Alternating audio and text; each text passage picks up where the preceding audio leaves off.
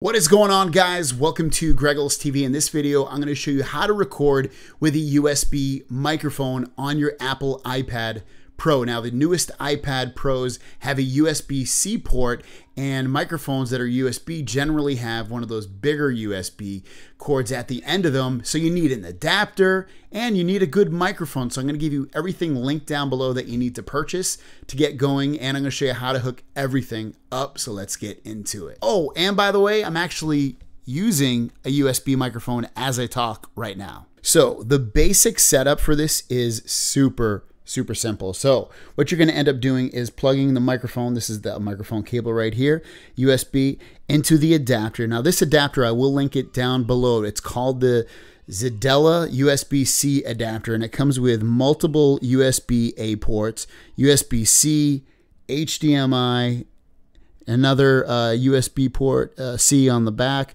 and then the other end will ultimately plug into the USB-C port of your iPad.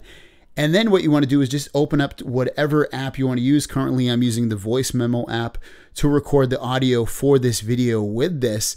But ultimately, you can use multiple, multiple apps with this. It's just a matter of testing them to make sure that they record from the microphone. The other thing I wanted to say about the hub is ultimately, this is a third party one, so you might some might work, some might not. This one definitely works, and I'll and because uh, I'm trying it.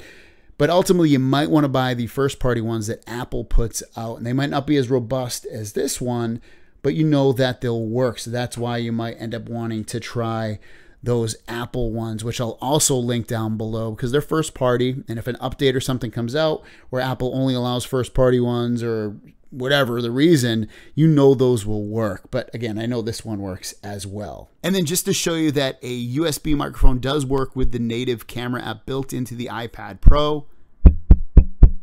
There you go. Definitely works, no problems. The main thing with all of these apps is when you plug in the microphone, make sure you close the app beforehand and then reopen it if it's if it is open. If it's not open, just plug in the microphone, then open the app. So there you guys go. Such an easy setup to get going with a USB microphone on your Apple iPad Pro. And I'll link, like I said, the microphone that I'm using, which is the Samson G Pro. I love this microphone. It's amazing. It sounds freaking awesome and it connects to anything USB. So there you guys go. Thanks for watching, and I'll see you guys down the road. Peace.